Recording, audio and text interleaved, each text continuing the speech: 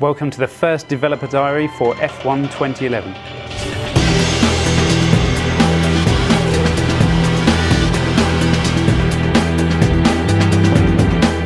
This is the next step for us and it's something that we'll keep pushing forward. Some people think it's just about updating the teams and drivers and you just ship the next year's game out. Um, it's nothing like that at all. There's a, a, stack of new things in there. Multiplayer is a big, big focus for us in 2011. I think, I think it's one of the important things that we have to try and capture this year is get more people involved in playing online. Uh, we've moved up to 16 players online uh, this year and full grids, full 24 car grids. Co-op championship mode, that, that's a huge thing. Being able to play with a teammates, one of your pals throughout the season.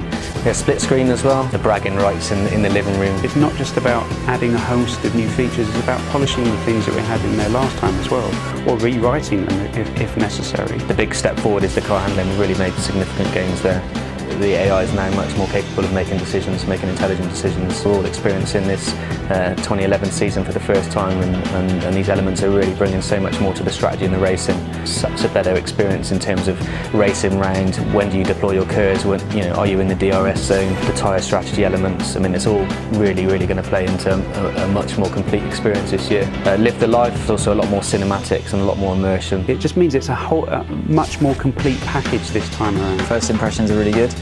Um, big improvements all round from, from last year's game. The physics, graphics, just it seems a lot more real. It's a massive improvement over F1 2010. Really looking forward to its release.